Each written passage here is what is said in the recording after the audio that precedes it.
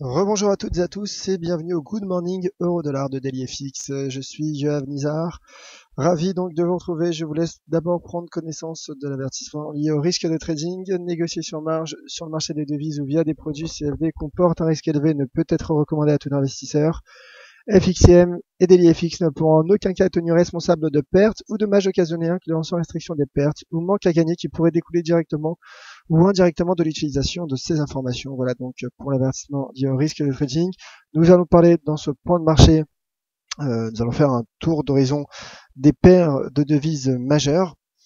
Euh, venez d'assister donc euh, au rendez-vous des scalpers où j'ai fait un point sur, sur l'ouverture des bourses européennes qui sont sous pression et qui ouvrent en baisse en légère baisse à l'ouverture, mais ça reste baissier. Le pétrole qui est également d'ailleurs sous pression. Et donc à surveiller également la paire USD CAD, car le dollar canadien, comme vous le savez, est corrélé avec euh, le cours du brut. Alors débutons ce webinaire par euh, la paire euro-dollar. Alors bien évidemment, vous avez euh, bien évidemment vous avez vous avez le chat à votre disposition pour tout commentaire questions ou analyses, je, suis, je serai ravi euh, de vous y répondre. Alors la paire au dollar qui poursuit hein, son, bah, qui poursuit, je dirais, sa, sa fluctuation à l'intérieur de ce range entre les 1,08 et 1,1060.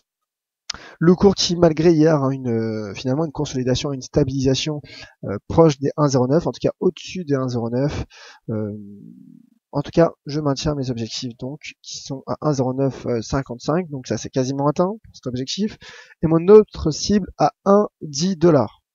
Donc je joue le trading range en effet. Toutefois, si vous n'êtes pas positionné, bien évidemment, il est toujours risqué, hein, notamment dans un but, euh, également pour, placer ses stops, euh, pour gérer votre risque. Bien évidemment, il serait plus risqué d'entrer tout de suite en position.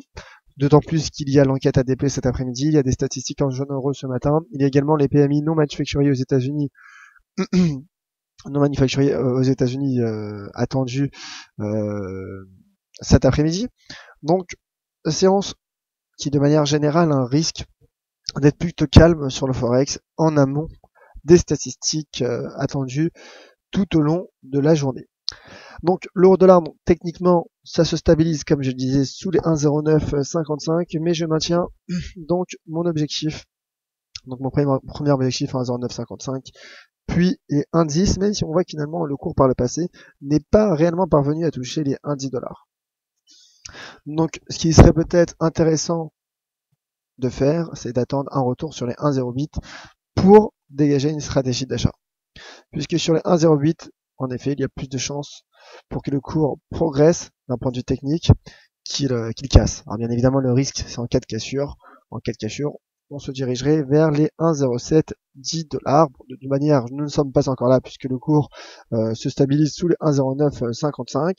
Pour le moment, si vous êtes entré en position, je maintiens donc mon objectif à 1,10. Mais j'invite tout de même à la prudence car techniquement le cours se situe à présent en plein milieu d'un range. Donc bien évidemment, c'est risqué et fondamentalement c'est également risqué comme je disais avec tous les indicateurs macro attendus aujourd'hui. Voilà donc pour la paire euro-dollar. Euh, avant de poursuivre, juste un mot sur l'US dollar index d'FXM qui, euh, qui se stabilise sous les, sur les 12 220 points, qui est un seuil d'inversion de polarité que je présente depuis maintenant de nombreuses semaines. Et donc euh, le cours qui, qui se stabilise. Alors c'est logique, hein, le, cours de l'US dollar devrait se stabiliser tout au long de la matinée, devrait, se stabiliser euh, tout au long de, la matinée. Toutefois, euh, toutefois, le cours pourrait également rebondir sur euh, sur ce seuil, sur ce support. Alors bien évidemment, hein, bien évidemment, pour le moment, ça reste proche donc ça reste proche de ce seuil ça reste proche de ce seuil, mais le cours en effet pourrait rebondir en cas de bonne enquête ADP. Passons donc à la paire USD Yen. J'en ai touché un mot tout à l'heure au Good Morning Euro Dollar. Comme je disais, le Yen qui est bullish, en tout cas qui rebondit, qui rebondit et qui sort par le haut d'un canal descendant, ce qui explique également que la paire USD Yen soit sous pression. La paire USD Yen est sous pression également sur un seuil un seuil à 119 à 119 588. Toutefois, le cours est en train de casser le, seuil dont je parlais tout à l'heure à 120, le chiffre rond à 120. Et donc l'USD Yen est sous pression. Est sous pression. Alors il y a un niveau certes intermédiaire, un niveau que vous voyez donc à 119,50. En cas de cassure, en effet, on passerait sur les 118,61. Mais de manière générale, de manière générale, hein, le cours qui avait validé euh, la semaine dernière un rounding bottom en atteignant son objectif à 121,59. Mais le yen donc profite d'un effet de rachat short après avoir été fortement pénalisé la semaine dernière par la Banque du Japon qui a baissé son taux de refinancement en territoire négatif à moins 0,1%. Donc pour le moment, ça teste ce support, mais ça reste sous pression pour l'USD Yen. Le GBP USD à présent, le GBP USD. Alors j'ai eu plusieurs questions dans le commodities, euh, dans le rendez-vous des scalpers il y a quelques minutes sur cette paire de devises GBP USD, qui en effet est intéressante et c'est peut-être la paire à suivre cette semaine. Pourquoi? Bah, Les paires en dollars, on sait que bien évidemment elles risquent d'être volatiles en cette fin de semaine puisque comme je disais, il y a les chiffres de l'emploi. Donc aujourd'hui l'ADP et vendredi le taux de chômage et le fameux rapport NFP, donc de la création du nombre de, de créations d'emplois non agricoles aux États-Unis. Et demain, il y a l'intervention de la Banque d'Angleterre qui pourrait faire chuter la livre sterling. On sait que la Banque d'Angleterre est dans un cycle accommodant. Et donc fondamentalement, la livre sterling pourrait être mise en danger demain par les déclarations de Marc Carnet notamment. Alors Marc Carnet ne cesse de répéter que pour le moment, un resserrement monétaire n'était absolument pas d'actualité. Et donc, euh, qui explique notamment la forte baisse de la livre sterling euh, euh, les, derniers mois. Toutefois, toutefois, le cours se stabilise dans un canal, euh, dans un canal ascendant, qui peut faire office même de, euh, de drapeau, de drapeau. Et on sait que le drapeau est une figure de continuation. Donc, je maintiens mon objectif baissier sur la paire GBP USD. Objectif baissier moyen terme. Moyen terme, pourquoi? Car la Fed devrait resserrer sa politique monétaire, devrait poursuivre son resserrement monétaire. et euh, le et à l'inverse la Banque d'Angleterre comme je disais n'est pas dans un cycle euh, n'est pas dans un cycle euh, de resserrement loin de là.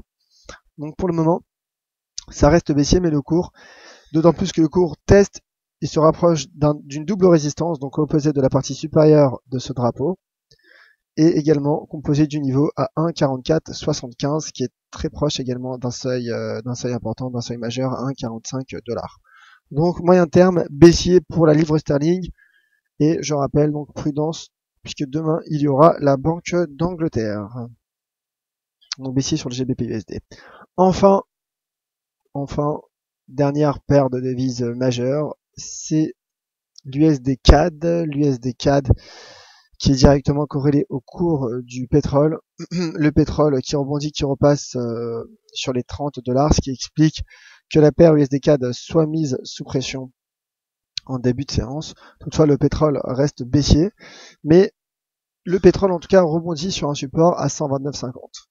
Donc c'est le seuil, le support à surveiller, cette zone entre, entre les 30 et 129,50. 30 car c'est un, seuil décisif, hein, 30 et qui servait également d'inversion de polarité. On voit qu'un support s'est formé donc à 29,50.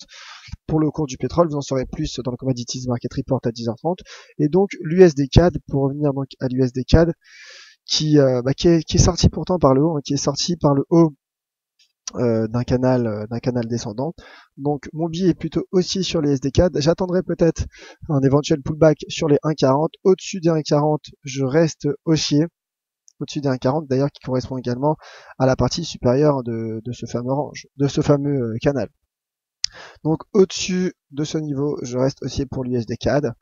Euh, à l'inverse, en cas de cassure, là bien évidemment, l'USD CAD risquerait d'être en forte difficulté. Voilà. D'ailleurs, peut-être un mot sur le Luni Index également, qui est l'indice donc euh, du, du dollar canadien, indice de vise. Le Looney Index également, eh ben, on voit qu'il rebondit sur un seuil, en tout cas proche d'un seuil euh, proche d'un seuil d'inversion de polarité. Donc pour le moment, le dollar canadien tient sa support, mais reste tout de même sous pression. Voilà, on voit tout de même donc un support qui s'est formé Donc voilà, ça reste, ça reste fragile pour le, dollar canadien.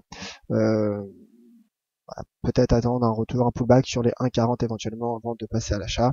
En tout cas, à court terme, je suis plutôt plutôt haussier sur l'USD CAD, mais prudence tout de même car le pétrole a bien baissé en ce début de semaine. Donc le pétrole pourrait également profiter d'un effet de rachat de short. Et je rappelle également que cet après-midi, les stocks de brut devraient également impacter euh, la paire USD CAD. Voilà donc pour les paires, euh, les paires de devises majeures. Passons à présent aux questions. Vous êtes nombreux à me poser des questions et à réagir sur le chat. Bonjour Scorpion, bonjour visiteurs, merci à vous également. Merci Luc. Rebonjour donc Patrick Leroy, fidèle au poste. Rebonjour Kerzelen, ma chère Kerzelen. Bildo, MM.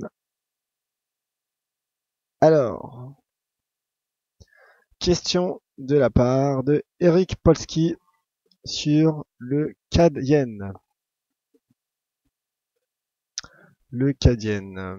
Me voici le Cadienne qui arrive. Alors, un mot donc sur le Cadienne me demande Eric Polski.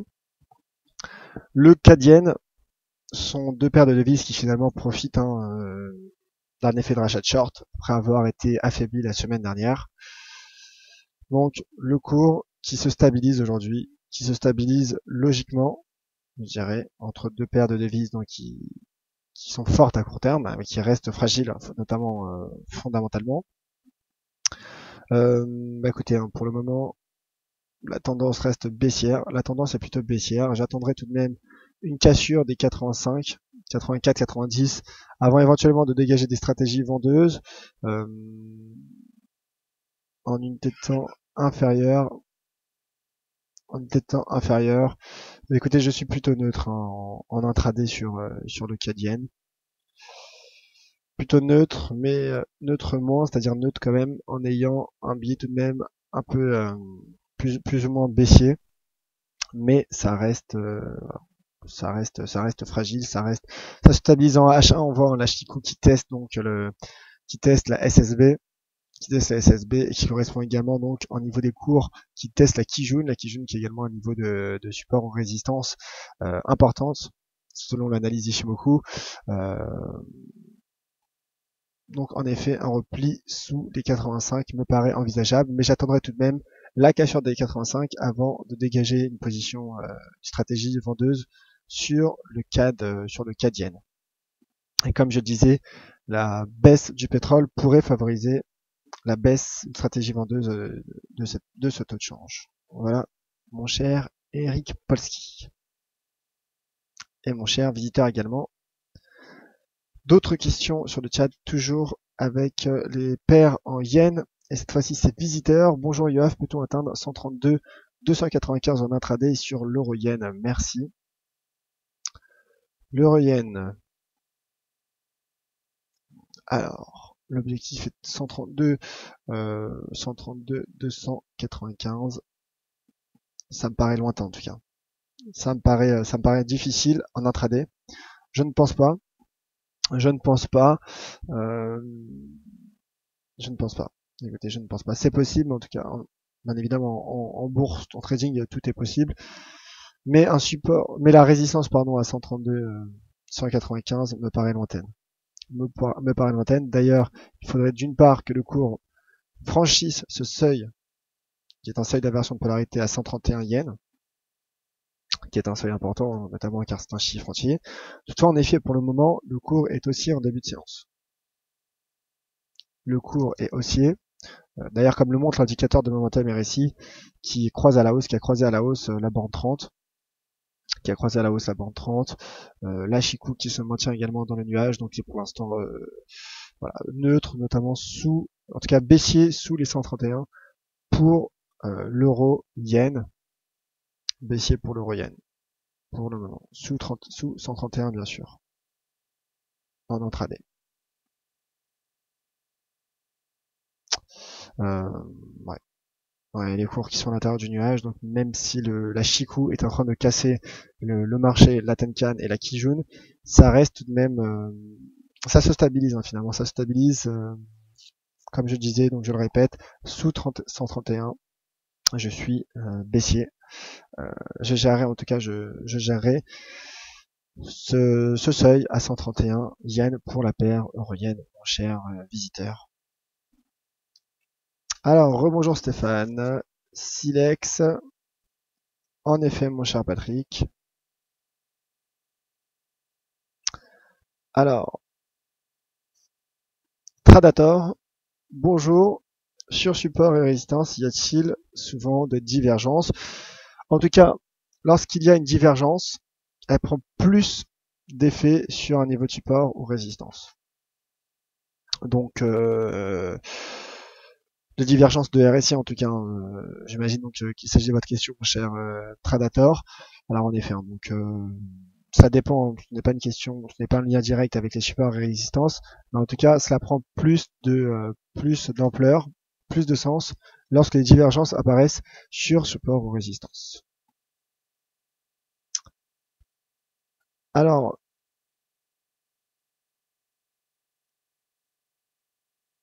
Alors, d'autres questions. Visiteurs. Donc, n'hésitez pas, mon cher visiteur, à me, rappeler un l'actif sur lequel euh, votre question porte. Kerzelen. Kerzelen, donc EuroGBP et EuroCAD. GBP, le voici. GBP.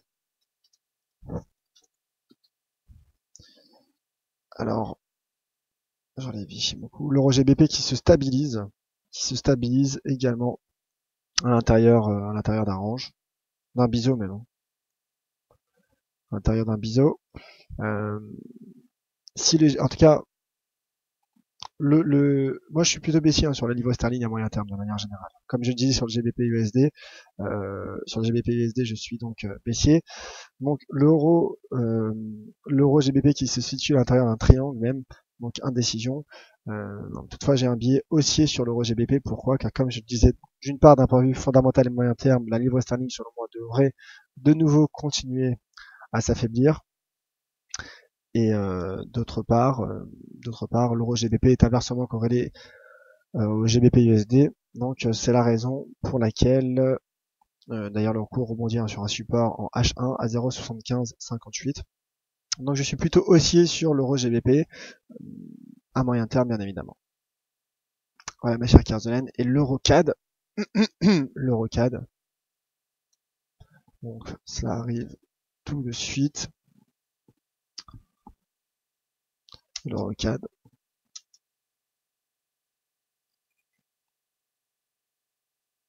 l'Eurocad qui qui rebondit sur certains niveaux euh, sur certains niveaux de, support en tout cas dynamique euh, qui sont donc euh, le, nuage ou même la Kijun en H1 voilà. Pour le moment donc de manière générale les marchés sont plutôt flats aujourd'hui. Et c'est logique puisqu'il y a des statistiques importantes. De même que vendredi matin, ce sera, ce sera flat en attendant le NFA. Donc là aujourd'hui on attend l'enquête ADP qui, je rappelle, l'enquête ADP d'ailleurs, euh, l'enquête ADP d'ailleurs euh, représente 16%. 16% du, rapport NFP. En tout cas, l'Eurocad, sur ce que me dit Ishimoku, c'est que l'Ashiku, d'une part, teste une triple résistance, donc Kijun, Tenkan et prix, alors que les prix également se replient sous la résistance du nuage sur, plus la résistance du nuage.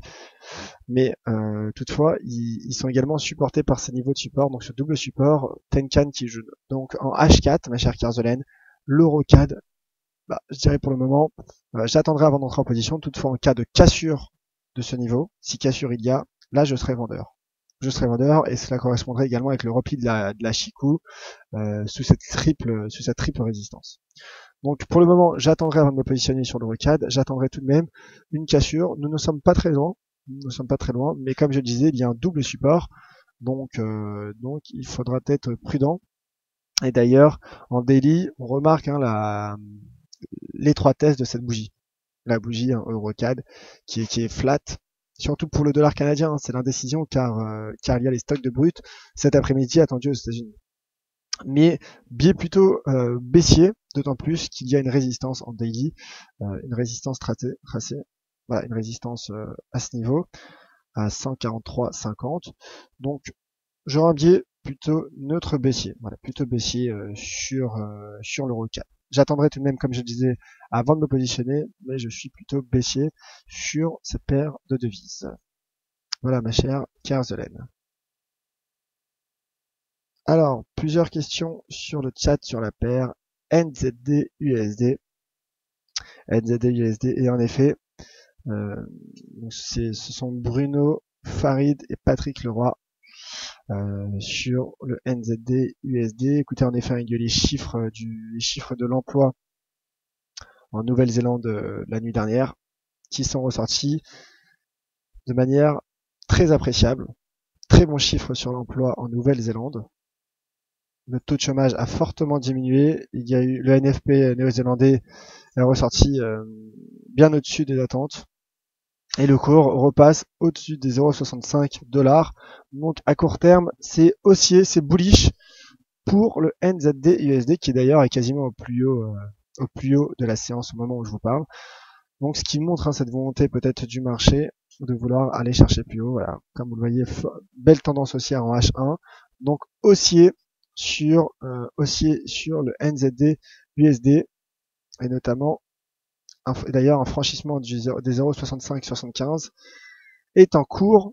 Donc prochaine cible dans les prochaines séances à 0,66 euh, d'une part à 0,66 et à 0,66,80 si le cours bien évidemment poursuit sa tendance haussière toutefois prudence hein, car sur du très long terme ça reste baissier. Mais en tout cas le support à 0,6425 tient pour le moment et le cours repasse sur les 0,65 donc en intraday. Je répète, je suis haussier sur le NZD USD. Et l'AID USD pour être complet également profite hein, finalement de, ces décisions, de ces euh, de ces euh, statistiques, car d'une part, elles sont fortement corrélées, puisque l'Australie et la Nouvelle-Zélande sont des partenaires euh, commerciaux importants. D'ailleurs, le dollar australien qui avait été affaibli hier par euh, par l'intervention de la de la RBA, donc de la Banque d'Australie, qui a qui a toutefois qui a maintenu qui a, qui a opté pour un statu quo, mais toutefois Glenn Steven, le gouverneur de la RBA, a déclaré que être inquiet notamment concernant les craintes sur le ralentissement mondial.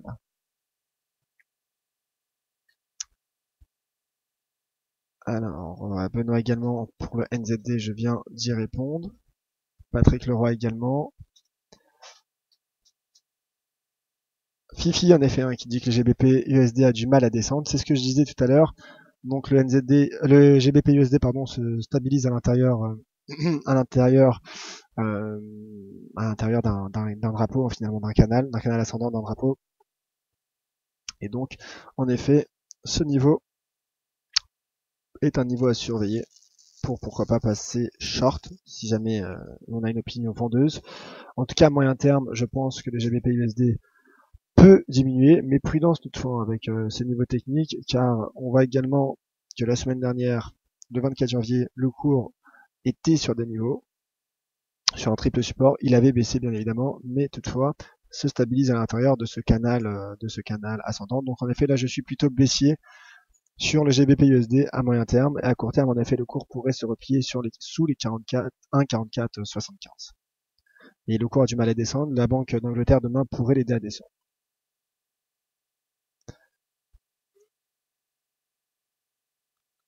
Alors Benoît, après l'annonce de l'emploi en Nouvelle-Zélande hier soir, jusqu'où peut aller la correction sur le NZD USD Écoutez, la correction, quand, on parle de correction, ce qui est intéressant, c'est de mettre un Fibonacci et on sait que le niveau à 50, le seuil à 50 est majeur. Un seuil de retracement à 50 est majeur. Donc, dans un premier temps, le NZD USD peut atteindre les 0,6610, 0,66, 0,98 et même atteindre, pourquoi pas atteindre les 0,6880, car il s'agit également d'un retracement à 61,8%, qui est également un niveau important de retracement selon euh, Leonardo Fibonacci. Donc, euh, donc le cours pourrait en effet atteindre les 0,6680 pour le NZD USD, bien évidemment, il faudra également surveiller, hein, comme je disais, l'US dollar index, qui est sur un niveau de support. Enfin, proche d'un niveau de support. Mais il reste de la marge même pour arriver à 12 000 220. Euh, également pour le dollar, il faudra surveiller l'ADP et le PMI non manufacturier attendu cet après-midi. Donc Patrick Leroy qui me demande justement mon sentiment sur l'AID USD, NZD. De moyen, à moyen terme, moyen long terme, je suis baissier sur ces deux paires de devises. Je suis baissier hein, pour plusieurs raisons. Donc d'une part, j'ai un scénario haussier sur le dollar. D'autre part, euh, d'autre part, ces paires de devises pourraient être en difficulté avec le secteur des matières premières et notamment les craintes liées au ralentissement chinois et des économies émergentes. Alors à court terme, pour le moment, c'est bullish. Le cours effectue un marteau également euh, en daily pour l'AID USD. Et pour le NZD USD, je viens d'en parler, c'est bullish également en intraday. Donc euh, je suis aussi en intraday sur cette paire de devises. MM justement qui demande l'US dollar. L'US dollar, comme je le disais, qui, euh, qui se rapproche, hein, qui se stabilise. Hein. Ce que je disais également, on remarque la, la faiblesse, la, l'étroitesse, hein, la, la, petite taille de cette bougie, de cette toupie donc. C'est logique. Le cours, le marché est attentiste. Euh, le seuil majeur à surveiller est bien évidemment à 12 120 points. Donc là, nous sommes proches de ce niveau. Euh, nous sommes proches de ce niveau, donc ce niveau qu'il faudra gérer, donc soit pour passer à l'achat, soit pour l'inverse jouer le breakout. Je ne jouerai pas le breakout immédiatement. Euh, J'attendrai les indicateurs macroéconomiques de cet après-midi. Alors, Tradator, c'est déjà répondu.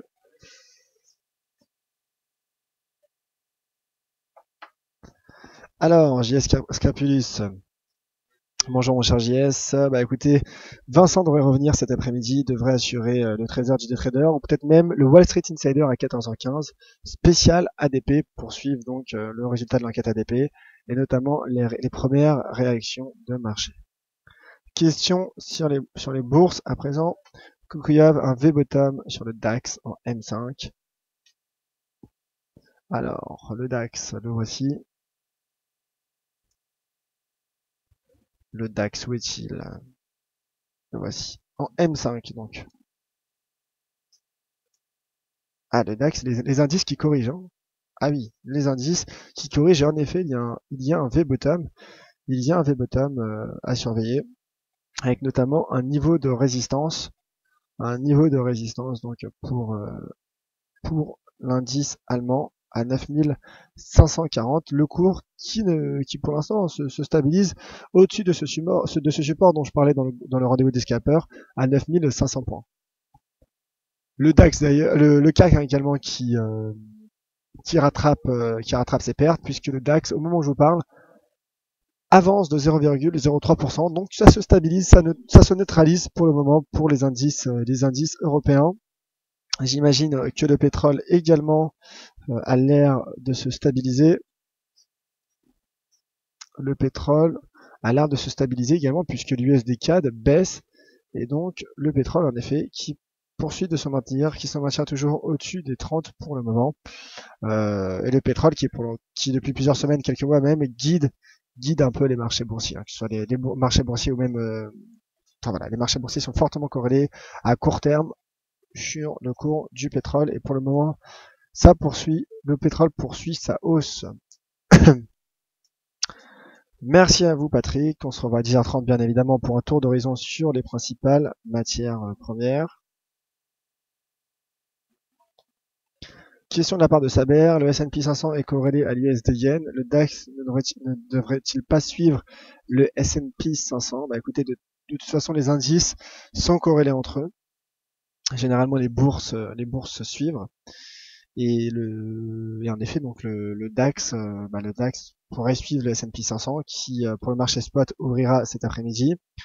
Pour le marché futur pour le marché futur également le S&P rebondit rebondit en début de séance au-dessus des 1900 il avait pourtant cassé hier les 1900 le seuil à 1900 points mais les indices retracent et semblent corriger et pourquoi pas repartir à la hausse. Donc c'est intéressant, on voit qu'il y a de la, de la volatilité euh, tout, de même, euh, tout de même sur les marchés. Le, le, marché, les bourses qui se stabilisent, qui se stabilisent. Euh, comme je le disais, il y a un climat d'attentisme. Un climat d'attentisme en amont de toutes les publications attendues cet après-midi.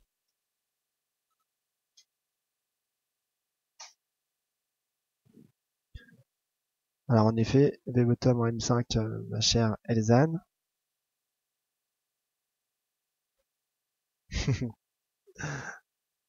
oui, mon cher Luc, peut-être.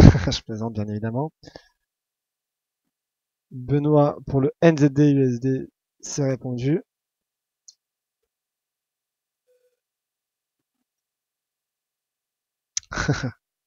Alors, j'ai des messages sympathiques hein, sur le chat, j'en profite pour vous remercier à tous. Fifi, question sur le CAC.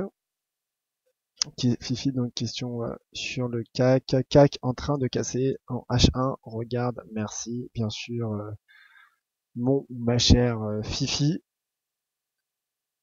En H1, déjà en H4. Ouh là là, en H4, le cours qui teste les 4300. 4300. Donc attention au pullback. Attention au pullback. Ça corrige pour le moment, ça corrige, mais comme je disais, attention au pullback sur, sous les 4300 points. Donc à surveiller. Pour le moment en tout cas, ça n'a pas cassé, mais ça en prend la direction. Ça se rapproche des 4300 points, donc à surveiller. Et oui, ma chère Kerzolène, promis, on en parle tout à l'heure de l'or et du cuivre à 10h30. Je vous donne d'ailleurs rendez-vous à tous, notamment à ma chère Kerzolène, fidèle au Commodities Market Report, pour un tour d'horizon des principales matières premières. Merci mon cher Luc. Et avec plaisir, mon cher Greg, que j'en profite pour saluer au passage.